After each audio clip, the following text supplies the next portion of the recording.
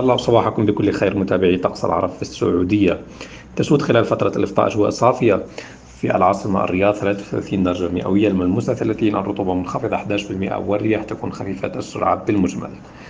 أما بالنسبة لتفاصيل الحالة الجوية المتوقعة لباقي مناطق المملكة لنهار اليوم الجمعة نبدأ بالمنطقة الشمالية حيث تتأثر تبوك بحالة من عدم الاستقرار الجوي. وتطل زخات عديد من الأمطار 39 إلى 22 سكاكا 36 إلى 23 أما عرعر 38 إلى 24 المنطقة الغربية المدينة المنورة 37 إلى 24 مدينة جدة 41 إلى 30 مكة المكرمة 42 إلى 32 الطائف فرصة لزخات العديد من الأمطار 31 إلى 18 المنطقة الجنوبية الغربية أبها فرصة لزخات العديد من الأمطار 28 إلى 18 الباحة 28 إلى 20 وجازان 38 إلى 32